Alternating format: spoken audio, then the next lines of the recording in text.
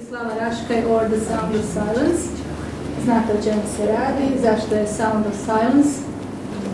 Um, uvijek na engleskom, budući da predajem engleski, pokušavam malo uvesti kulture i civilizacije u svoju nastavu. Uh, posebno me zanima likovna i glazbena umjetnost. Već sam radila jednu radionicu koja je bila na ovom skupu prijavljena 2007 središnja figura je bio Vincent van Gogh i ta se radionica nalazi na portalu za škole što smo spominjali sada.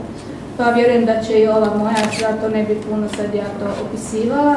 Rekla bih samo da je dosta teško bilo doći do bilo kakvog materijala Slavi Raška i na internetu nema gotovo ništa, na Wikipediji nešto vrlo malo, tako da sam ja sa učenicima sedmih i osmih razreda malo očačkala neke knjige po našoj gradskoj knjižnici u gradskoj knjižnici u Ozlju gdje je Slava Raškaj rođena. E, možda je najveća vrijednost u tome što smo mi zapravo tekstiće koji se pojavljuju u tom projektu sami preveli na engleski jer je radionica zamišljena da bude na engleskom.